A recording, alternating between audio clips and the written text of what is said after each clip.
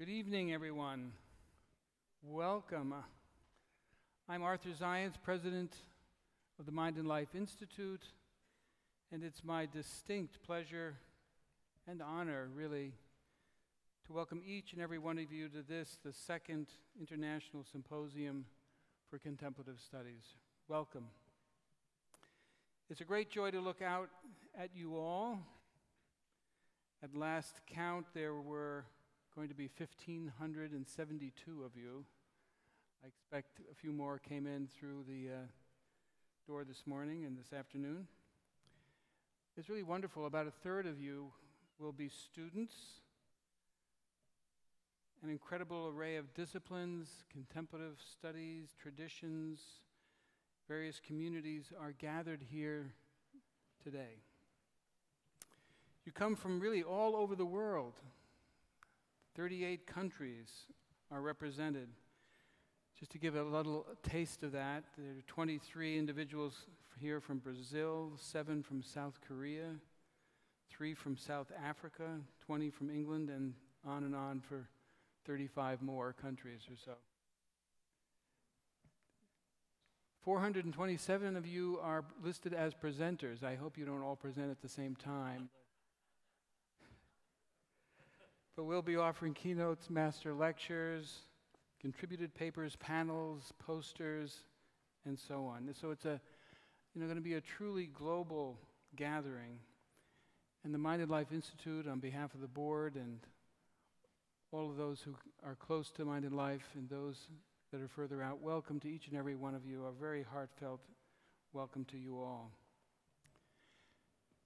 You know, some 300 of you were present during the course of this day for a full day of workshops and dialogues concerning two crucial strands that are weaving their way through our lives and especially in education that of the struggle for true equity and access, and a second strand that seeks the cultivation of the interior in educators and in students. How is it we affirm both of these, both the strand of the inner life and the strand of social justice. And we call this a tale of two movements what transformative and contemplative education can learn from each other. You join with 1,300 others, those 300 and the 1,300 others who, whose disciplines range from neuroscience to physics, my own discipline, and from philosophy to dance. So it's a huge, diverse gathering and community that are drawn together here. A heartfelt welcome to you all, not only from me, but from the whole Mind and Life team, a truly remarkable group that has labored so long and hard to bring this event to pass and will provide, I hope you experience the very best possible experience for you. Over the years, Mind and Life has held small gatherings on highly specialized research topics this is not one of those small gatherings. And some have had the opportunity to work with the Dalai Lama in intimate settings, as well as to help introduce with him science into the curriculum of thousands of Buddhist monks, for example, in South India not long ago. We not only convene meetings large like this one and small, but we strive to catalyze catalyze cutting edge interdisciplinary and cross cultural research by holding summer research institutes, supporting scholars, especially young scholars, through small research awards. And increasingly, we do this around the world, for example, through a Dalai Lama dialogue in Japan on mapping the mind not long ago, and a Mind and Life series of lectures and talks with, in Thailand, Singapore, Hong Kong, Taiwan, so for example, Southeast Asia. Our sister organization, Mind and Life Europe, who, some of whom are here today, sister organization Mind and Life Europe held its own successful conference last year in Berlin and a summer research institute of its own this past summer in the beautiful island in Chiemsee. You can come, it's not just Europeans, so you're most welcome to join us there. Finally, over the last three years, Mind and Life has made concrete efforts to translate the good work of the last 27 years into applications that mitigate suffering and promote human flourishing, especially in the areas of craving, desire, and addiction, and also in the area of ethics and education. The emerging global community, which is represented by you who are present here this evening, is an affirmation, I take, of that vision. If the fruits of the engagement of science with the contemplative traditions are to benefit society, then those fruits must be the product of the most careful and diligent research and be able to withstand the careful scrutiny of philosophers, scholars, policy analysts, and others. Our enthusiasm for the work must never dull our critical gaze. Our open minds must never succumb to dilettantism.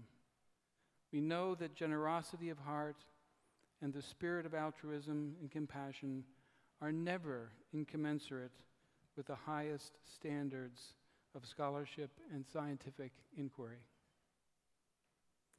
As you look around at those who are seated beside you and across the hall, you can scan the program and the conference app. This is the newest thing the conference app, and you can be resigned.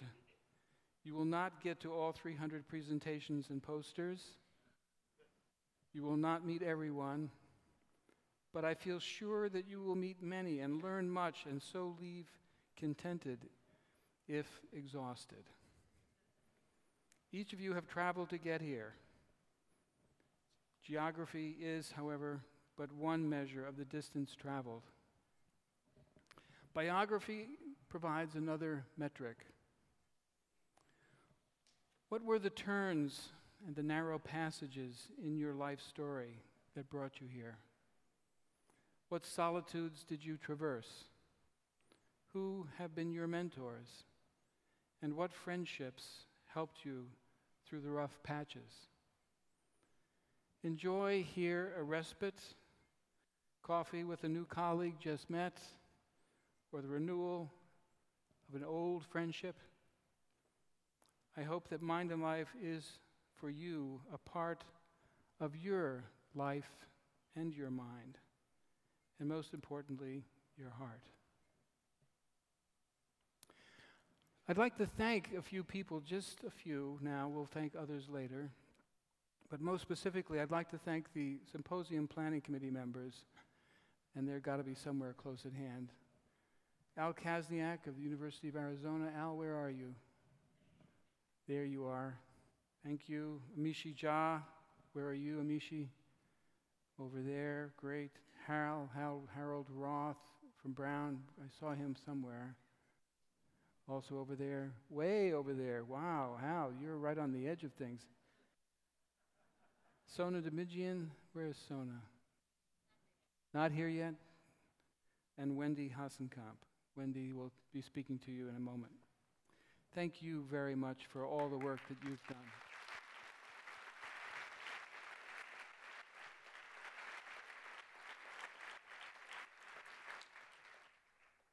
Just a word or two about the schedule. So, after this evening's opening address, John Kabat-Zinn will lead us in a first meditation.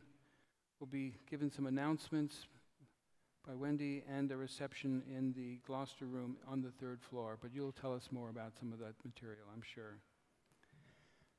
And now for the, uh, the main event, the main event indeed, a talk by Diana Chapman Walsh on education for ethical and compassionate leadership.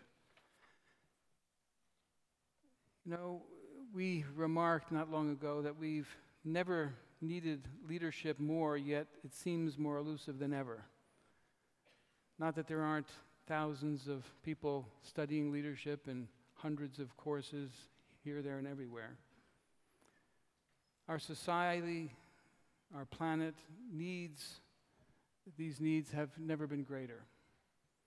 Our technical prowess has never been more sophisticated. But can we find the wisdom required to chart our way into the future? And one of the most eloquent speakers concerning that ethical and contemplative leadership is Diana Chapman Walsh. Diana served has currently, currently serves on the governing boards of the Massachusetts Institute of Technology, the Broad Institute at MIT and Harvard, the Kaiser Family Foundation, the Institute for Healthcare Improvement, and most especially of all, the Mind and Life Institute. Her term as president of Wellesley College from 1993 to, 19, to 2007 was marked by remarkable educational innovation, including a revision of the curriculum and expanded programs in global education, the humanities, internships and service learning, interdisciplinary teaching and learning, and religious and spiritual life on campus. Diana evolved a distinctive style of reflective leadership, rooted in a network of resilient partnerships and anchored in the belief that trustworthy leadership starts from within. And I am just hugely, infinitely, really pleased to give the podium over to my dear friend and my beloved colleague, Diana Chapman Walsh.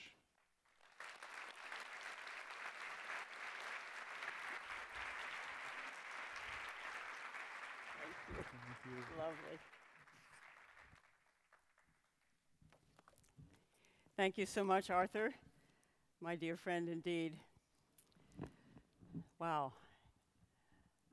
Welcome, welcome, welcome to all of you. What a sight. You're a beautiful sight out there from this vantage point up here. You should all have a chance to stand here and look out at yourselves.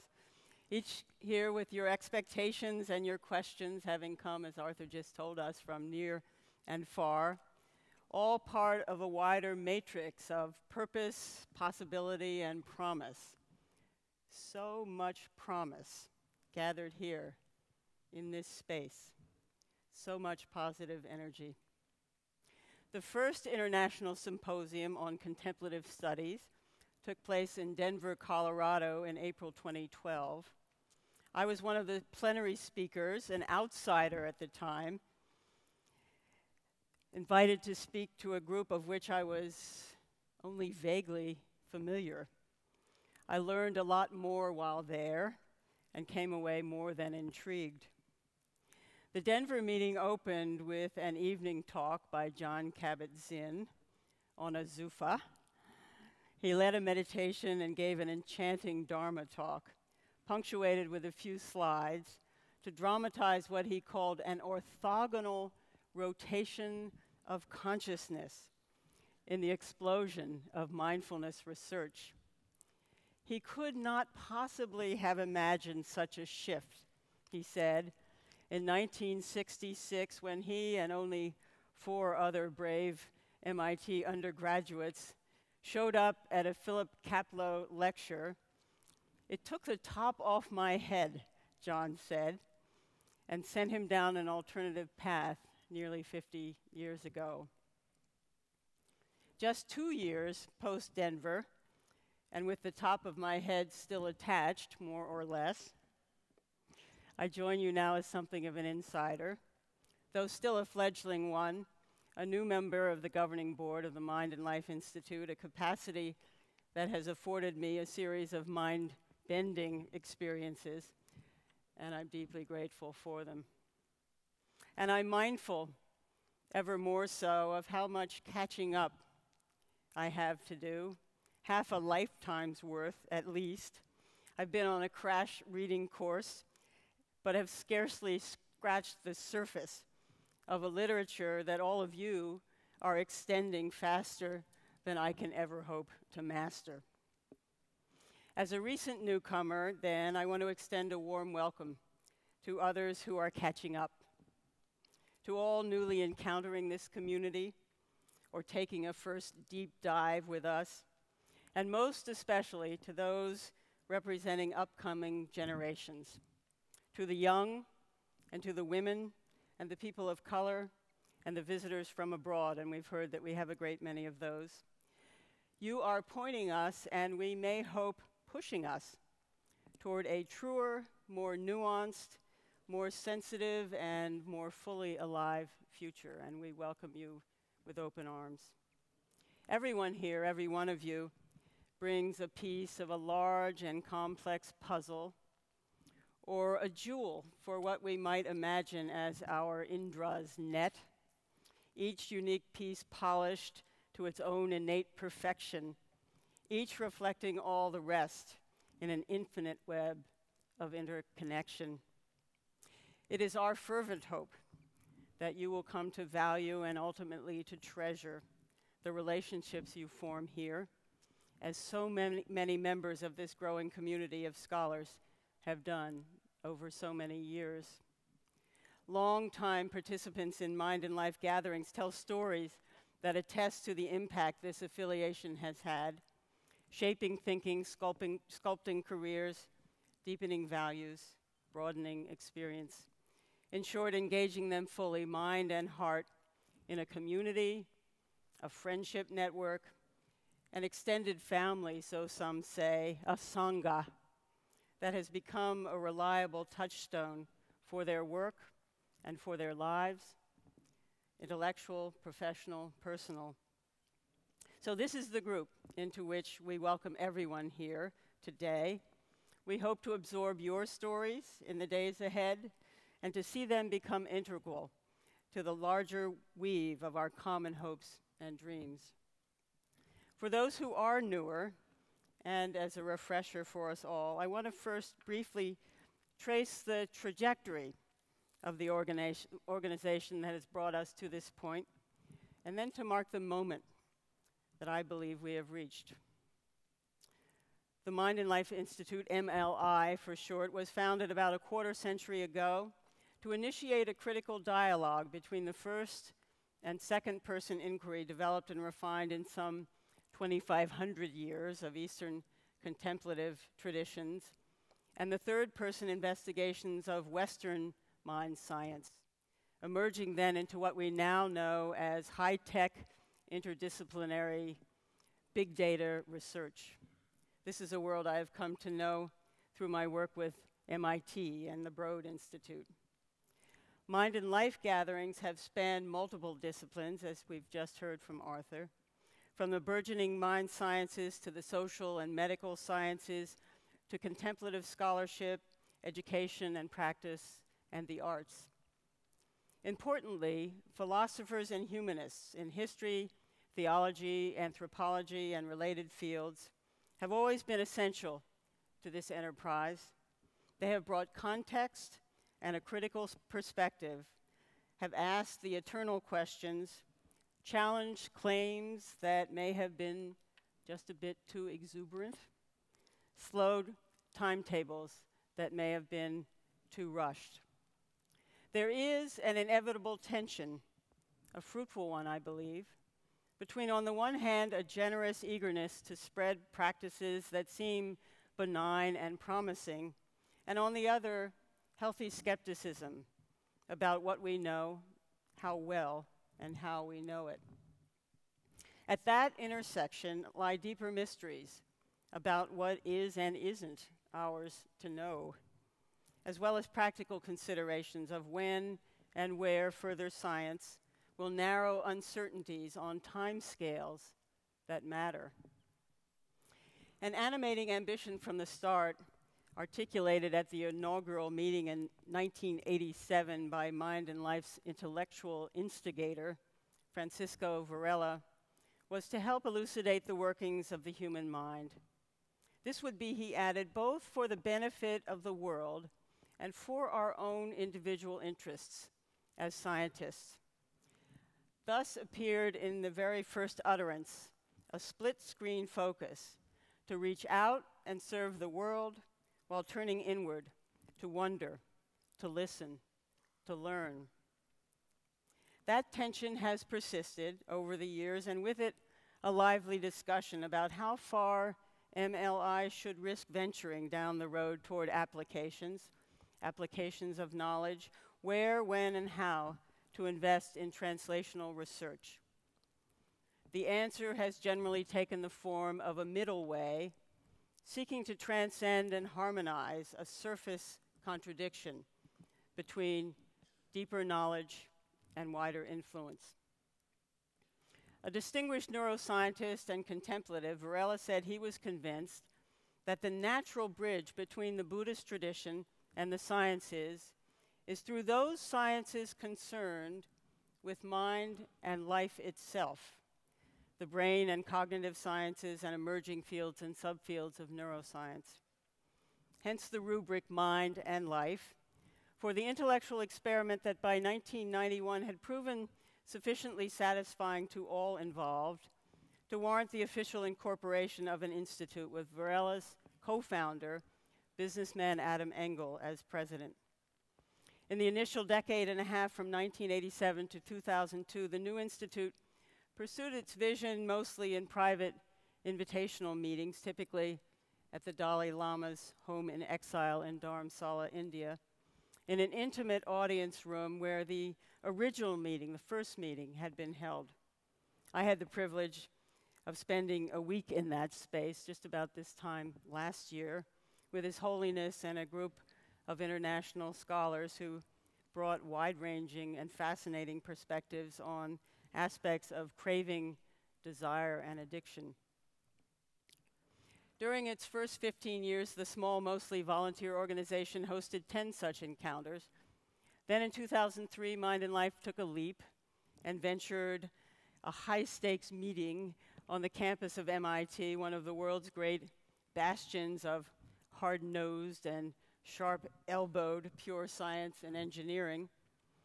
With an audience of 1,200 and a waiting list of 1,600 more, the MIT meeting propelled Mind and Life into a new phase of growth. The pace of that growth has accelerated since 2011 dramatically.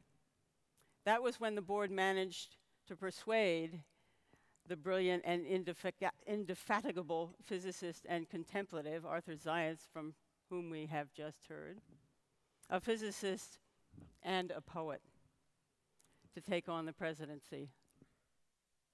Vladimir, Nabokov, the magnificent stylist, is said to have aspired to write with the passion of a physicist and the precision of a poet. Arthur encompasses those two qualities in the patience of a practice, a dedicated practice of meditation as contemplative inquiry, the title of one of his many groundbreaking books. And so our history, propelled by passion, precision, and patience, has brought us here to this moment of collective inquiry. But where are we? Concurrent with MLI's rapid growth, the field as a whole has been feeling repercussions from the dramatic expansion of mindfulness research and the breathless publicity about putative benefits of contemplation. A cure for all that ails us, an antidote to the ferocious forces driving our frenzied lives, a new miracle pill to patch us up and send us back into the fray. The hype heightens questions about what this field has actually accomplished. What is realistic to expect, whether meditation can cause harm, how enduring or deep its alleged benefits are, who realizes the benefits, in short, how to filter overblown claims and avoid a dilution effect or a backlash, just as we stand at the threshold of a second generation of increasingly sophisticated, exciting, and promising mindfulness research. Some worry further that those of us intent on studying contemplative practice have or may become unwitting victims of our own success, that if we aren't careful, we risk being swept up in a marketing mania that is, to borrow John's word, orthogonal to the objectivity that is our sine qua non. Others express concern that Westerners may be misappropriating or disrespecting Buddhist traditions, diluting, polluting, commodifying this gift, this precious gift from the East, with our culture's ruthless pragmatism, individualism, impatience. I want what works for me, and the sooner the better. Don't bother me with the details. Our purpose here, then, is to take our refuge in science an enterprise in which sociologist Robert K. Merton wrote The accretion of reliable knowledge depends on what he called organized skepticism, a consensus process placing the burden of proof on the person making the novel claim. Science is a culture of collective scrutiny that tends toward conservatism, Merton observed, that finds its legitimacy, as does religion, in an appeal to authority. But the authority to which science and scholarship more generally appeal is found in a community of peers that has robust, disciplined norms and procedures to serve as correctives against bias and self delusion. Such a community is bent on pursuing causal chains wherever they may lead. It is that kind of disciplined, collective community we are here to honor, to solidify, and to advance. And herein lies the shared value between the Western scientific enterprise and Buddhist wisdom traditions. No experiment will ever prove me right, Einstein said. A single experiment can always prove me wrong. In his conversations with Western scientists, the Dalai Lama often expresses his own openness to evidence that may disprove something he has long believed. Evidence, argument, and attunement to multiple ways of knowing are the foundation stones for the collective inquiry in which we are engaged.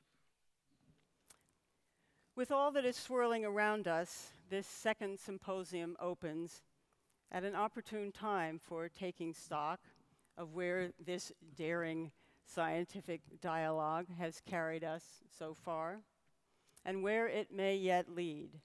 A time to explore what the future may hold and how each of us and all of us might most skillfully serve it.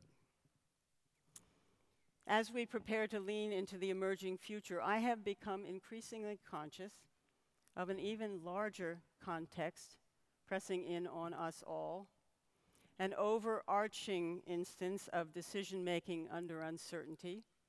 In the grave threat we humans now know, our behavior is posing to the Earth's fragile ecosystems on which all life depends.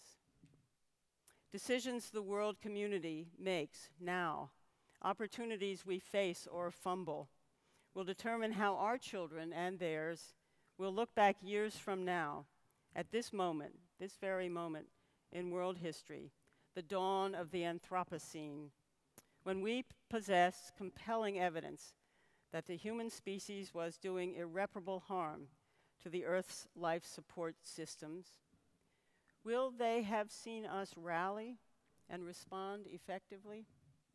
Or will we live them groping to make any sense of our blindness and self absorption? The People's Climate March a month ago in New York and cities around the world drew hundreds of thousands of participants who were buoyed by a sense of collective efficacy and the relief that comes with principled action in the face of threat.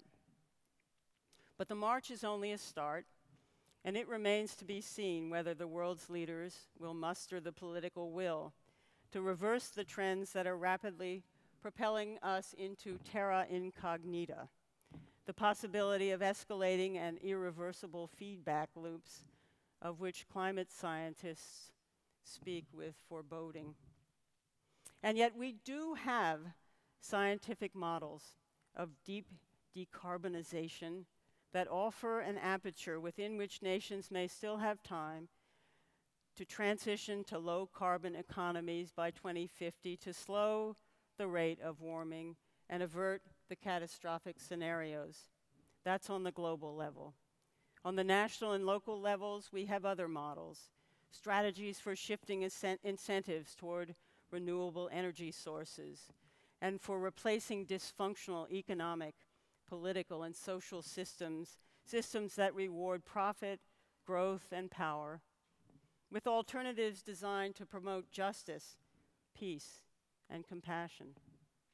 In local communities across the country, we have many small scale experiments demonstrating that it is within our reach to implement systemic changes that affirm and sustain life, that allow us, in the words of plenitude author Juliet Schor, to work and spend less, create and connect more, emit and despoil less, enjoy and thrive more. In short, we still have sufficient scope for hope if we can arouse ourselves to act wisely now. So, why wouldn't we take that path? Well, we do face formidable obstacles, to be sure, not least the political and economic paralysis gripping the United States and undermining our efforts at global governance. But at the root of that problem, and this problem I'm addressing, is a crisis of caring. As a society, we've retreated into powerlessness and a narrowing of consciousness as we sleepwalk into the future, distracted by a mad technological surface, circus that diverts our attention from what truly matters. We are losing the awareness of what it means to be human, to be a product of the immense creativity of this living world we see slipping away, a world which we have forgotten how to love enough. Only out of love and wonder will we humans muster the cultural maturity and the wisdom to see that we are of, not above, the vast cycles of creation and destruction out of which the universe emerged billions of years ago. Only when we see ourselves there will we recall our inescapable interdependence with all the living beings that constitute the Earth community. Only when we see and deeply feel our spiritual roots in the natural world and recognize how much of that world we are losing every day will we find the will to act. Only then will compassion flow for the billions of our fellow humans living in poverty who already are the first victims of our decades of disregard, and for the seven generations forward whose inheritance is in our hands. When all is said and done, Peter Senge says simply, the only change that will make a difference is the transformation of the human heart. And so, here we humans teeter in 2014 on a precipice toward which we have been marching for decades. The ice is melting, the oceans are dying, temperatures are climbing, fires and storms are raging, seas are rising, population is exploding, soils are eroding, wars are erupting, and the sixth great extinction in 500 million years is eliminating species daily. Gaps between rich and poor are widening. Democratic governments have sold out to a vast and powerful rogue industry, doubling down to protect private profits at public expense. No one knows with any certainty whether or when a series of complex feedback effects may spin out of control. Now, there's a rosy picture. But here's another path. Here's another path right here, right here in this room. Because at this very time, more and more of us are recognizing that it is past time to act, that we have more than enough information about climate disruption to demand immediate measures, that a wait and see policy may mean waiting until it is too late. That's a direct quote of a warning issued to Congress 35 years ago. Over the past two years, I have been living these questions in a circle of 12 women, just 12 women, scientists, artists, and scholars, who made a commitment to spend time together to get real about the climate crisis and inquire what it asks of us. In a council for the uncertain human future, hosted by the Clark University Humanities Center, we explored what is known and not known and asked about the implications of that. We opened to the grief beneath what the scientists and artists are seeing.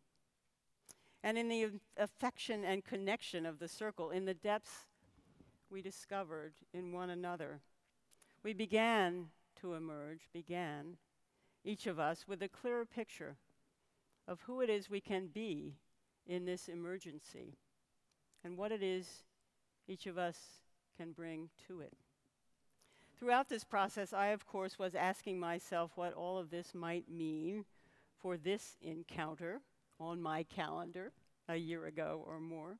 This evening's encounter with you, with all of you, with a much wider circle of especially deep and wise and caring people. How might our time together shed new light on our collective capacity as humans to envision and manifest a safer, saner, and more just world for our children and theirs at a time of great complexity, uncertainty, and exigency. Most of my professional life has been spent in higher education, a domain like so many others now, bending into disorienting headwinds. So let me begin there and with a paradox for universities. On the one hand, institutions of higher learning have a vital role to play in sustaining cultural values of critical thinking, intellectual engagement, respect for evidence, appreciation of the life of the mind, attitudes fast losing their toehold in a polarized, wired, buzzing world of irony and disengagement.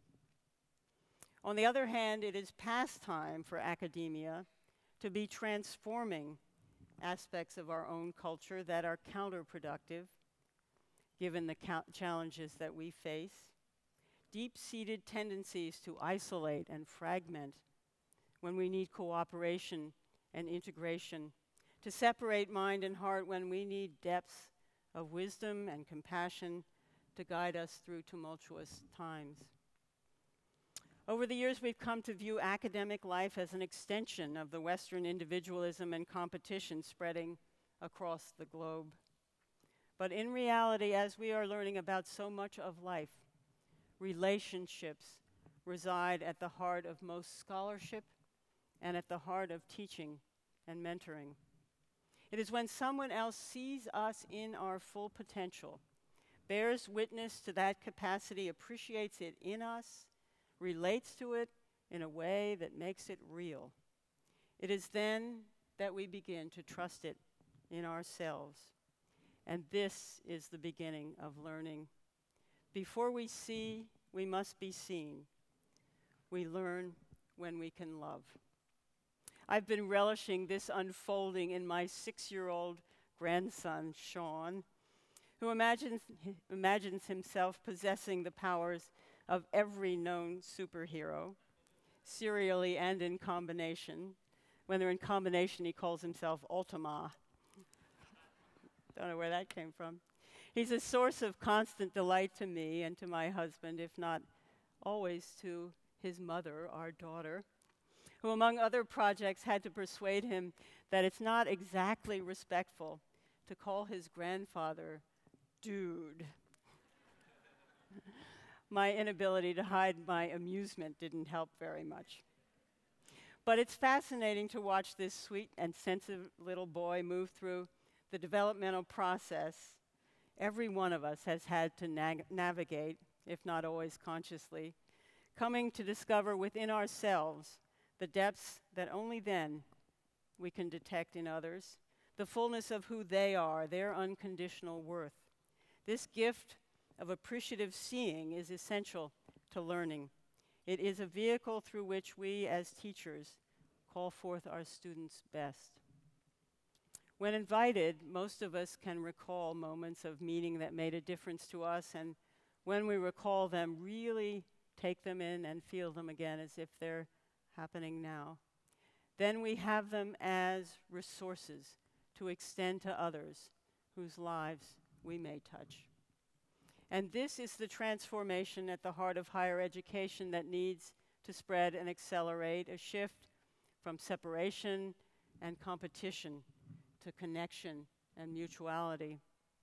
Its significance for us here today is that it supports a larger evolution in consciousness the human species is starting to make from hubristic independence to an awareness of our intertwining with all of life on Earth.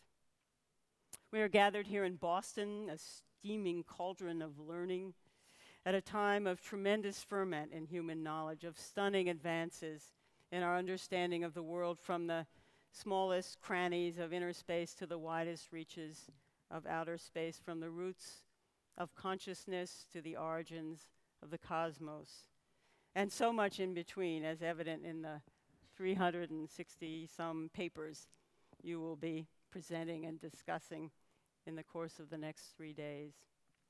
From inner space, equipped with the tools of genomics, advanced imaging, and computational virtuosity, neuroscience is bringing us insights to which many of you have been contributing. Eventually, we may have maps of the wiring of the human brain, the imprint of genetic, epigenetic, and environmental factors in brain circuitry, and on through behaviors that make us uniquely human, each of us distinct from all others. Our grasp of human evolution is being stretched by modern neuroscience and its findings on variation and neuroplasticity. With that come the deeper questions mind and life has been long pursuing. For example, if it's possible, as it now appears, to change the brain by training the mind, then don't we humans have new obligations to invest in the fitness of our minds? A profound ethical question to which much of the work at this symposium will speak directly and indirectly. From outer space, we have a whole new story of the universe, a continuous unfolding over some uh, 13.7 billion years. Our species' time on Earth has been minuscule, and only now are we absorbing how precarious our place may be, 7 billion strong and multiplying fast, facing environmental tests that we will meet only if we can reorder the political, economic, and social systems that are subverting basic aspirations towards justice, equality, freedom, and the preservation of life itself. Many of today's leaders deny the established facts of climate science. Industries with vested interests in the status quo are funding disinformation campaigns to confound the issues, to discredit science and scientists, and to disable democratic decision making by promoting ignorance and fear. Fear is paralyzing, but hope liberates. Hope resides in the human spirit, in our ability to feel, to pay attention, to comprehend, and from there to act.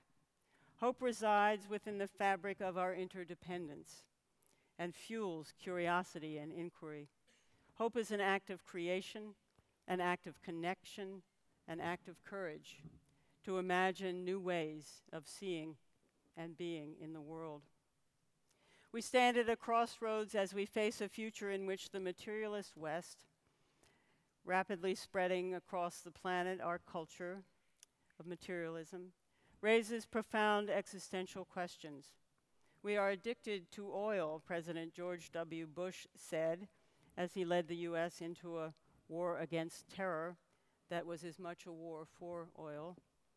Americans are addicted to power and speed and technology, to conspicuous consumption and an insatiable taste for ultra luxury, and to a growing arsenal of insanely dangerous weapons. These compulsions are destroying the biosphere, and they are destroying lives and closing hearts and corrupting minds yet with increasing clarity, in part owing to the kind of work all of you are pursuing. We see advances in science, together with growing insights from historic wisdom practices, opening new possibilities for inner development as a corrective to decades of preoccupation with outward material growth. Can we begin to transform processes of education everywhere and at every level, to nourish students' cooperative, connective, empathic capacities to teach them to be more fully human? Can we reclaim our democracy from the stranglehold of money? Can we transform ourselves in time? How much time do we have? We don't know. We do know quite a lot, though a lot about our predicament and a lot about what isn't working. One thing we know, or at least sense, is that in this time of disruption, many hunger for leadership marked by consciousness, conscious conscience, and the capacity to catalyze larger systemic changes. These are the opening words of a document being developed by a small core faculty of leadership scholars who are designing an experimental academy for contemplative and ethical leadership under the auspices of Mind and Life. We had a meeting just before this one. They or we, I am one of them, one of seven, we believe it is time to outgrow our fixation exclusively on individual leaders, who these exemplars are, whether they are born or made, how they manage or don't, to command and control those around them. Instead, we want to learn how teams, organizations, and large, larger networks can shift a social field. We want to gather evidence on how systemic changes can be catalyzed, not by lone heroic individuals, but by deep shifts activated in networks of interaction. Members of this initial faculty hope to attract others to help us develop modes of inquiry to investigate how contemplative practices and mindfulness may play a critical role in this new collective leadership that's manifest in a generative social field that can move groups beyond old habits of thought and action. In a telephone conversation this summer, Mind and Life fellow Wolf Singer put a fascinating frame around the kinds of questions we want to ask.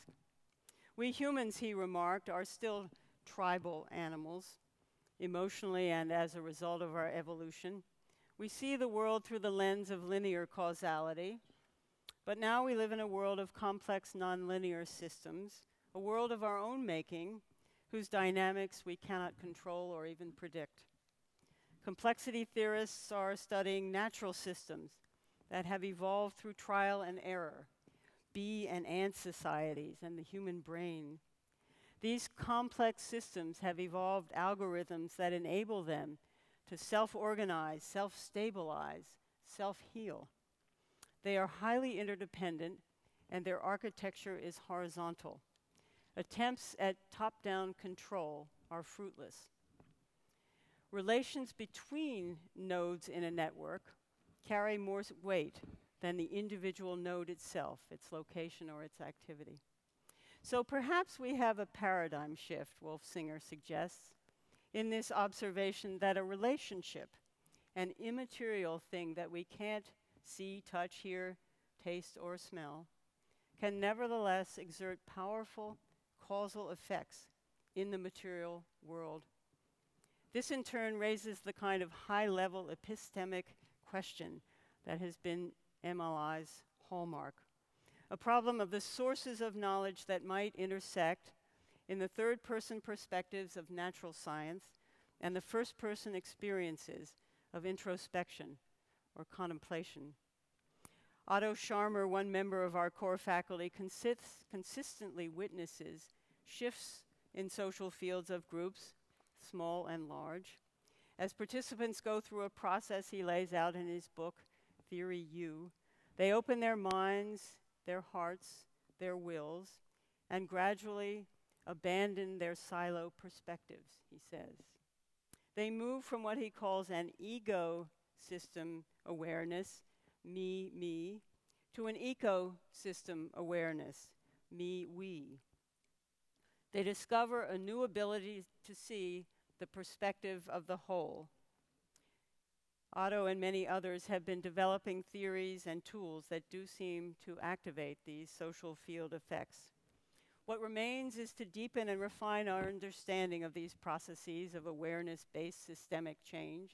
If we can, then perhaps this budding field of inquiry can spread far and fast enough to make a difference on a global scale.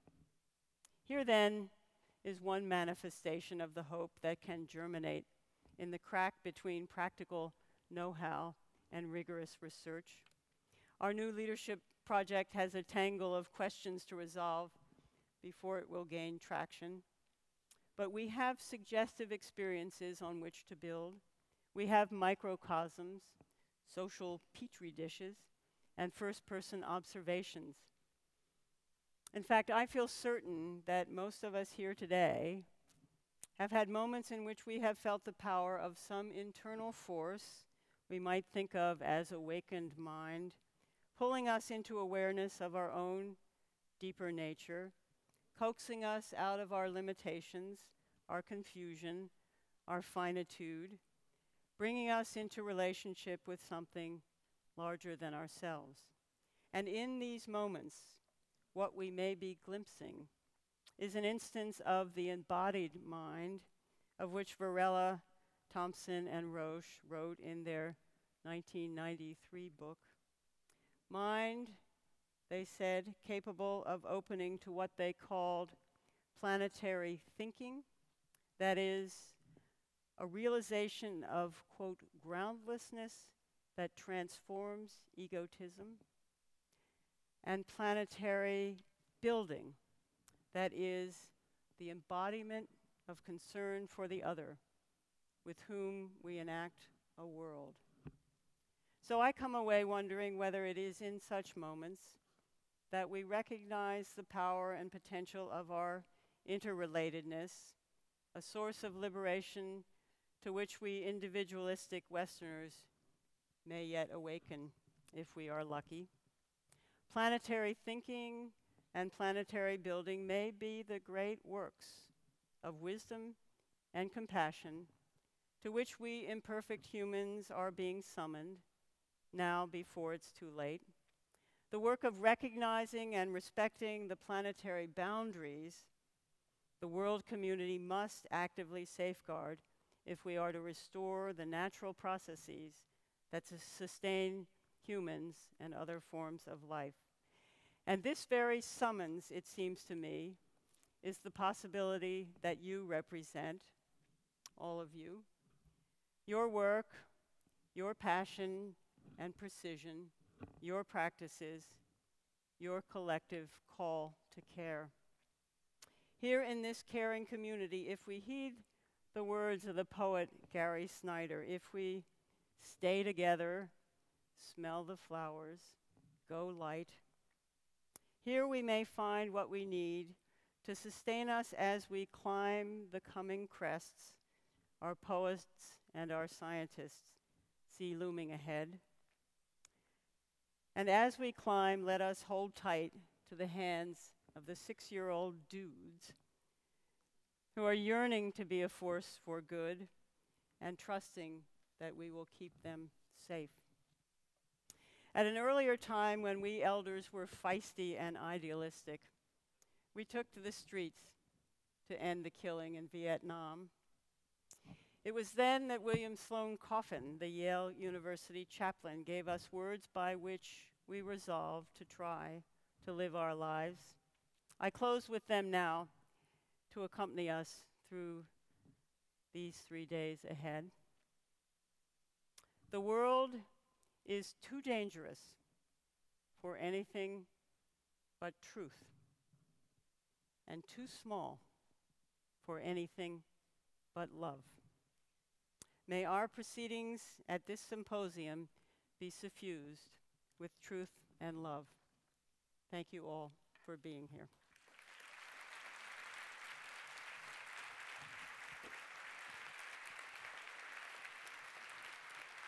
Thank you. Thanks.